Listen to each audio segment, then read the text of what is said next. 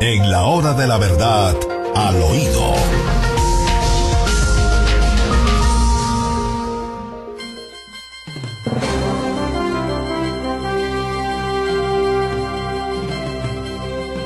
Al oído, William.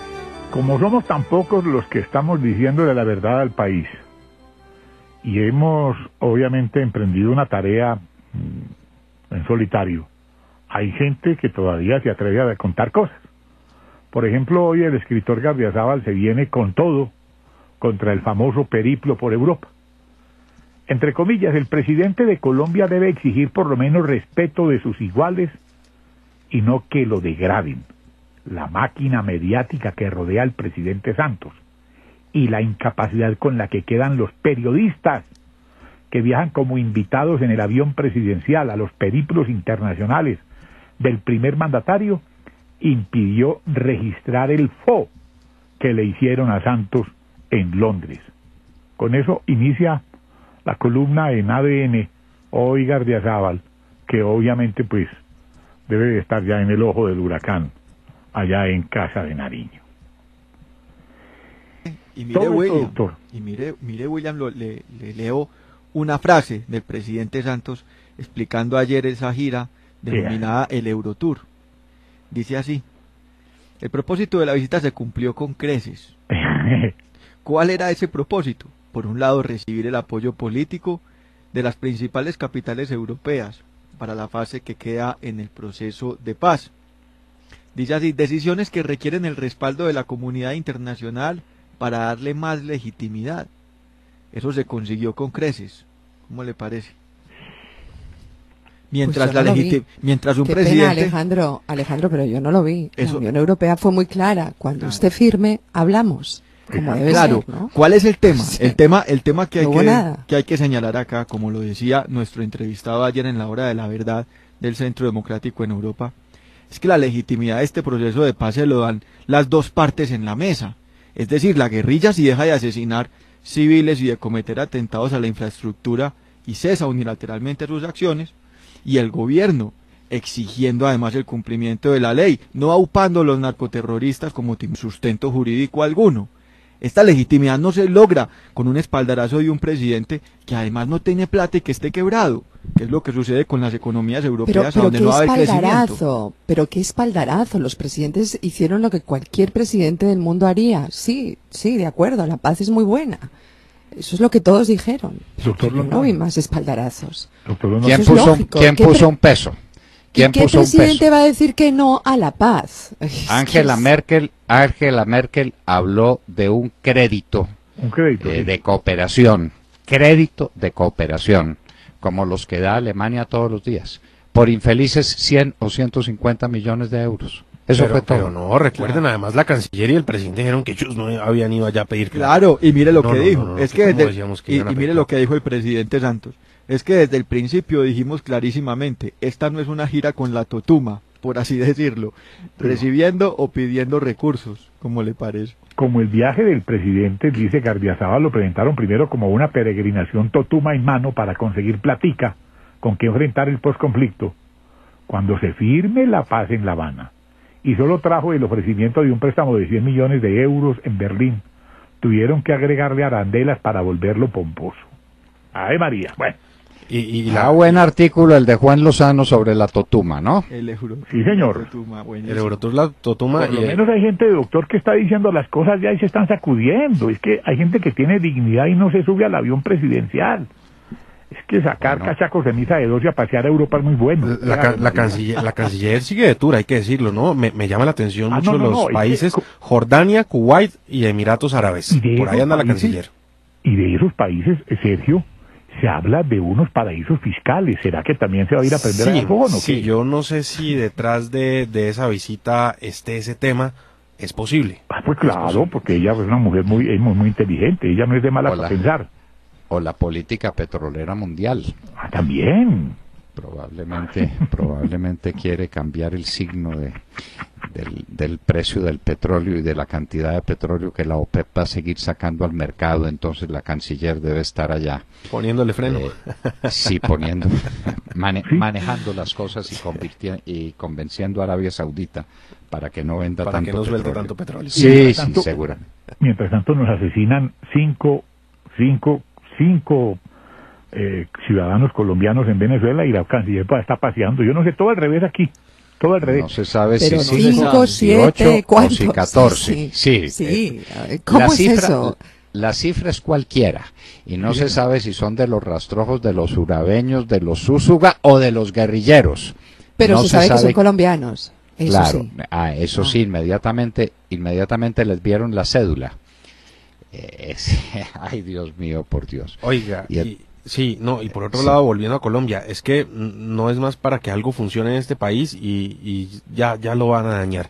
Justicia indígena violó el debido proceso a guerrilleros condenados, dice la ONU. Fabricio Horschild. Fabricio el que le violaron el debido proceso y mejor dicho en línea con Ramiro Bejarano que no hizo más que desacreditar ese proceso que pues la verdad sorprendió a todos los colombianos por lo eficiente que fue. Sí, por lo eficiente que fue, entonces eh, Fabricio dice que se les, se les violó el debido proceso porque han debido tener abogado defensor y han debido poner interponer interponer recursos y el recurso de apelación, eh, pues entendamos eh, entendamos que eso fue una vía de hecho, pues la muerte de los indígenas también fue otra vía de hecho. Y entonces los indígenas contestan con lo que hacen y subrayan la independencia que tienen del Poder Judicial colombiano que no sirve para nada, para nada. Porque a don Fabricio no le parece violación de los derechos humanos el hacinamiento en las cárceles. No, nada. Ni le parece, ni le parece denegación de justicia lo que está haciendo el Consejo de Estado en el caso de Gustavo Petro. Por eso no protesta. Lo de Petro, William, es lo más escandaloso del mundo. Qué tristeza Rec- eso. Recordémosle a nuestros oyentes qué pasa. Hay una orden en firme ejecutoria del Procurador General de la Nación para sacar a Petro del Palacio de Justicia. Eso lleva un año. Eh, ¿Cuál es la fecha de la resolución? Eso fue en noviembre del año Sí, fue pasado. en noviembre, Sí, doctor. eso, eso ya lleva un año. Muy bien, Como un año. medidas provisionales en este Entonces Petro intentó toda clase de cosas y de argucias y metió tutelas por todas partes. Todo eso se fue decantando. Pero llegó una tutela al Consejo de Estado y entonces pidiendo pidiendo la nulidad del acto acusado, no una tutela, es la acción contra el acto acusado. Y entonces viene la suspensión provisional que solamente se dicta cuando la violación de la ley es flagrante, es indiscutible, salta a la vista del magistrado sustanciador y entonces para que no se consumen los efectos perniciosos de un acto indebido, decreta la suspensión provisional. Y un magistrado, uno, le repito, uno, habría que mirar el nombre de ese sujeto, Sergio y Alejandro, miren a ver si lo, si lo encuentran dictó la suspensión provisional del acto demandado. No está dicho dónde estaba la flagrancia, la ostensibilidad, la claridad en la violación de la ley, pero decretó la suspensión provisional. Inmediatamente contra eso repone, supone recurso ante la sección entera, porque este fue José un María Armenta, el magistrado José María Armenta. José María Armenta. Muy bien. Y entonces viene inmediatamente el recurso ante toda la sección. ¿Y qué pasa? La sección dice, no, no, no, no, no, este asunto está muy importante. Así como está suspendidito, lo pasamos de la sección a la plenaria. Óigame pues, no se pronuncia sobre una suspensión provisional que un magistrado había decretado, Armenta. Y va a la plenaria y llega la plenaria y pasa un mes y otro mes y siguen los meses y no se pronuncia la plenaria del Consejo de Estado. Niega la Administración de Justicia en una cuestión tan elemental como una suspensión provisional. Y no dice Increíble. una palabra. Y Petro sigue de alcalde. ¿Sabe que sugiere Dice, un oyente? dice, Doctor sí. Rondón, dígalo, Montserrat. Sí, estamos eh, exactamente igual usted y yo. Dice un oyente, María Elena, que trasladen ese proceso a la jurisdicción indígena. Esa es la solución. Claro. Esa es la solución. Sí. Sí, en, en, la, en la jurisdicción indígena ya habrían resuelto el problema. Oiga, y, y uno no sabe si reírse o llorar. Uno de los últimos trinos que envió a través de Twitter Gustavo Petro anoche. Versiones sobre supuesta separación con mi esposa no son serias. Gozamos de una fuerte unidad familiar que resista el ataque malintencionado. Hombre, señor alcalde, póngase a gobernar en vez de estar contándonos sobre sus intimidades familiares. Resiste hasta los taconazos en la cabeza. Bueno, muy bien. Deje así, Deje- deje así, deje- doctor. Deje así, Deje- deje así. Ay, ay.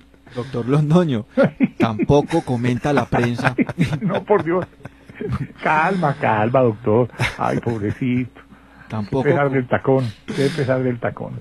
vamos a, a contarle a nuestros oyentes que ayer eh, hicimos acá una, un, digamos, un reporte de lo que fueron los, los, los enfrentamientos entre el ejército y la columna de las FARC en Tame Arauca. Y la prensa no ha dicho que secuestraron dos soldados, están desaparecidos, no dan sus nombres. ¿Qué pasa con estos soldados? ¿Dónde están estos Sí. soldados de la patria? ¿Por No qué el gobierno nombre, no ¿no? exige Qué curioso. que los sí. entreguen? Pero no pasa nada. Ah, no, porque de pronto se daña el ambiente en La Habana. De pronto se daña el ambiente en La Habana si le preguntan a las FARC qué hizo con dos soldados nuestros que están desaparecidos. Y como son hijos del pueblo, hijos de gente humilde, nadie va a protestar y nadie va a preguntar por ellos. Déjelos, déjelos allá. Sí. Déjelos allá. Eso no hay problema ninguno. Doctor. No hay problema. Eh, El ambiente en La Habana no se los dañan, acuérdense, ellos se pasan de rumba en, en la Claro, bodeguita del eh, medio. Eh, Sergio, doctor, ustedes me regalan, pues como hoy es disque martes de poesía, me regalan una cosita de poesía como para Claro. endulzar esto hoy. A ver, nos va, nos va dando un adelanto de la cultura, William. Sí. Santinflas, el renajo, el renacuajo paseador. Espere, William. El niño vanidoso, Santín Renacuajo, salió para La Habana muy tieso y muy majo. En avión oficial, cohorte de lambones, viáticos pagos y comodidad a montones.